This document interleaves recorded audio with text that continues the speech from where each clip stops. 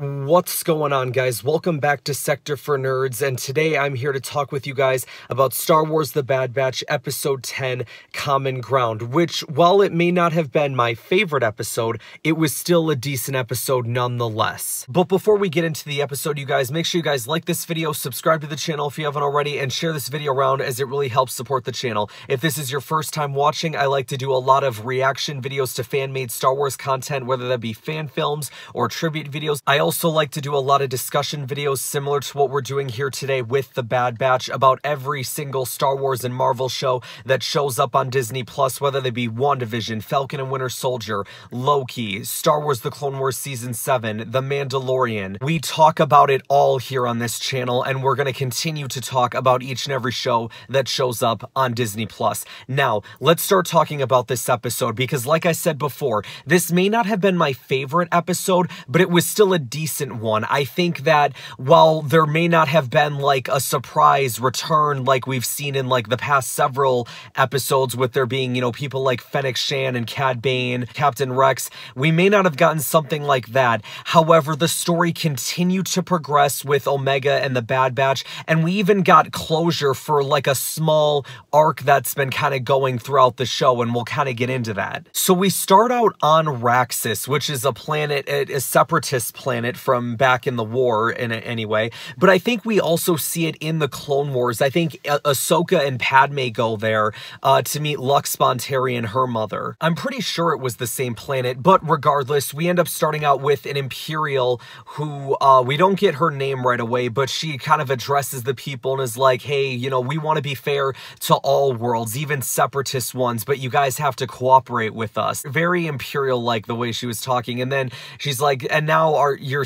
precious senator is going to say a few words, and the people go crazy for the senator. People love this senator, so yeah, this man must be popular, but good for him. Anyway, he starts talking, and he as he's talking, he almost realizes, like, all right, this ain't right. And he tells his droid beforehand, too, I forgot to mention. He's like, he tells the droid, hey, if something goes wrong, you know what to do. And this guy who goes up there and he's like, yeah, you know, we got to follow what the Empire is doing. You know, they're giving us all this stuff. It's all good. And then he realizes, no, no, this is wrong. I am not for the Empire. We need to stand up to this. And then they take him away and the people start to rebel too. And then insert ATTEs, which was crazy. I think that's the first time we've seen them in this show. I mean, besides the, like, a first episode. Uh, but yeah, I, maybe we've seen them before, but like, it's been a while. So to see them again was pretty refreshing and very cool to see. Then we get to the Bad Batch who's on Ord Mantell and I'm thinking in my head, like, crap, they're going to see Cid, aren't they? And so Wrecker and Omega are still eating that popcorn that I guess I have researched at this point that it actually is at Galaxy's Edge. I had said before that if it wasn't at Galaxy's Edge, it needed to be there.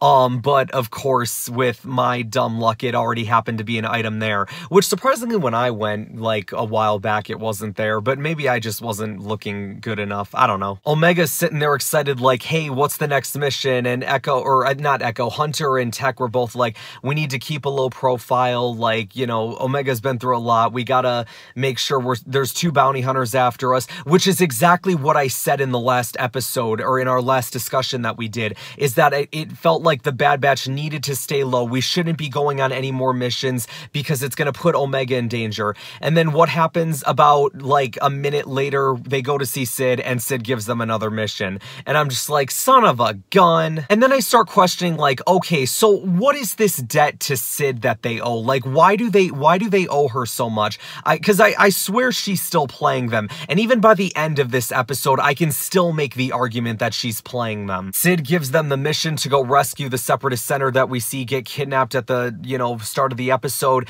They leave Omega with Cid, which I was immediately like, why would you do that? But then I started thinking, and, and as Cid said too, it's in your best interest uh, for, you know, Omega to be safe. You guys can complete your mission. We all get our money. And I'm like, you know what? Okay, I guess that makes sense. I can see that because Cid is someone who's all about getting money. So I guess maybe we can trust her for now, but I still, in the end, don't trust her. So something that we see throughout this entire episode is that Echo is very much against this mission and them helping out a separatist because, you know, Echo, he was on the Republic for so long and going against the separatists. Like there's kind of that almost like an ego thing there, right? Like why would we be helping out our enemy, like these guys were trying to overthrow the Republic. It almost kind of reminded me a bit of Star Wars Rebels with Rex and Kalani and that whole thing that went down. Like both of their pride was all for Republic or all for separatists that like it took a lot for them to finally put their differences aside and go up against the Empire. All right, guys, I got a question for you.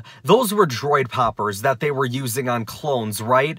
And then that begs the question, droid poppers work on clones? I mean, I guess it makes sense. I just never thought of it working that way before. You know what I'm saying? Because we've only ever seen droid poppers used on, well, droids. And for those who may be questioning, well, why would I think they're droid poppers? They make the same damn sound as droid poppers in the Clone Wars, all right? And I know my stuff, trust me. We also find out in this episode that Omega is very good at Dejarik. I think I pronounced that right, right? You guys know what I'm saying, but the table game from episode 4 a New Hope. I think we see uh, Chewie and Finn play it in uh, The Rise of Skywalker as well. So yeah, a very common, you know, game that we've seen played in, in Star Wars before. Omega, I guess, was very good at it because then Cid is like, hey, you mind winning a few games for me? And I loved the way that Omega was super smart and be like, but what's in it for me? And she tries to, and then uh, Cid tries to go with the 30% bullshit again. And then Omega's like, nope, I want 60. So clearly that was enough to get Cid to be like, all right, you know what, fine. And then eventually, you know, kind of jumping ahead to the end of the episode for a second, but that helps pay off their debt. So we find out that the Imperial officer's name is Captain Bragg. I don't think I've heard of her before. I don't recall her it being in anything from Star Wars before. It might just be a new character.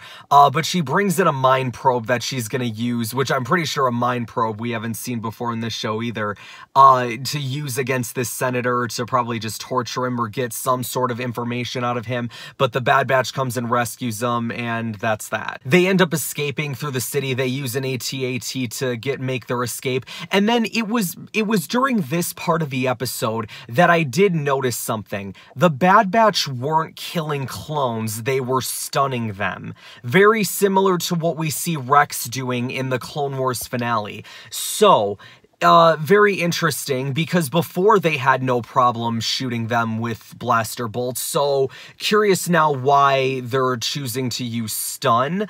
I don't know. Very, very curious about that. Like, I get they wouldn't want to kill their brothers, but then at the same time, did the Bad Batch really care too much for the regs anyway in the Clone Wars, except for, like, Rex? I don't know. I know Dave Filoni has always been against, like, the, the main heroes killing people. Like, they he doesn't like it when main characters are seen killing other people. Um, which, like, I, I get his reasoning for it, but I think, like, sometimes, like, there's, you know, perp like, there's purposes for it, you know what I'm saying? Like, especially in Star Wars Rebels, there were a lot of scenes in, in some of of those episodes where like, you know, they should clearly just be killing stormtroopers, but for whatever reason they're not. And I think it took them until like, I think the end of season four for Ezra to finally slice up a couple stormtroopers. And it's like, all right, it's about freaking time. The Bad Batch end up escaping through a wall. Like they park the ATTE next to a wall, which like was a dead end for them. They plant a bomb, shut the AT, AT door, go outside or let the bomb blow up and then they escape through the hole. It was a rather ingenious plan by the senator, if I do say so myself. And as they're about to escape, he kind of looks back and he's like, what am I doing? I'm abandoning my people. And his droid is like, no, no, no, you need to come with us. You need to survive. Like you can't, you're, you're no good to your people dead. And what I liked about this next part was the fact that Echo was the voice of reason. The person who is against this whole freaking mission goes up to him and says, the droid's right live to fight another day. And I'm like, all right, Echo, I see you. I get the, you know, respect factor there. Because Echo, I think, realized, like, all this dude, like, this dude, he doesn't care about the war between the Republic and the Separatists. He doesn't care about being like, oh, I'm going to lead these, these clones into a trap and kill them just to get a bit of closure for myself. No, I just want what's best for my people. Echo saw that. They get back to the uh, Ord Mantell and they get back to that cantina and Omega is just doing a phenomenal job playing playing Dejarik, and she is kicking booty. Uh, Cid's just sitting there having the time of her life because of how smart Omega is and how much money they're making.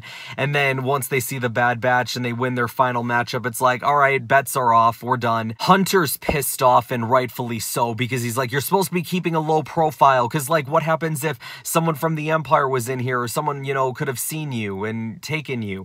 But at the same time, Omega was able to finish an arc that has been going on since episode 5 when it came to them meeting Cid, and that's paying off this debt to her. So you can't say that this was a filler episode because we did complete something that's been kind of, you know, a story like it's been it's something that's been part of the story for the past 5 episodes. So in that regard, it's not filler. And I I really thought it was cool that Omega was able to do that and now they can hopefully after this just be able to lay low and and avoid having to interact with Cid because just because Cid was nice here doesn't mean she'll be let nice later because we all know that Cid is just in this for money and that's all she really cares about. So at the end of the day, if the if the opportunity is given to her to sell out the Bad Batch and Omega, like they she will do it in a heartbeat. Hunter then tells Omega, all right, you and I are going to play a game.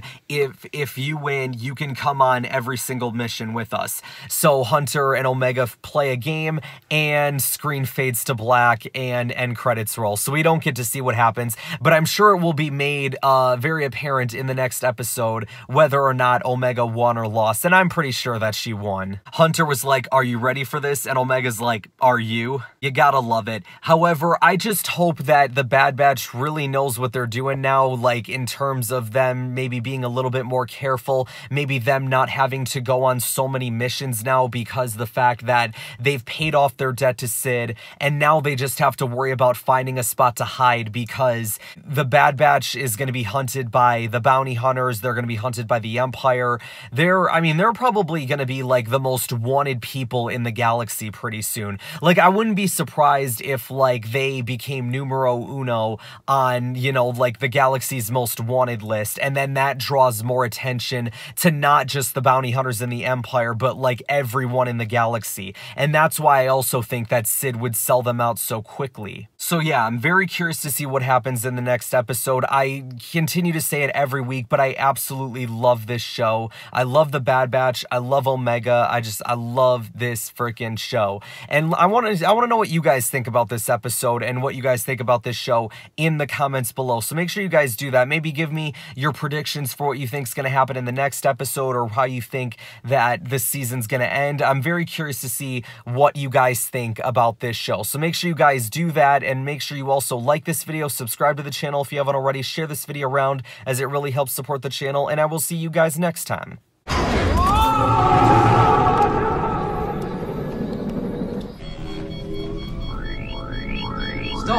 Stop, R2, we need to be going up.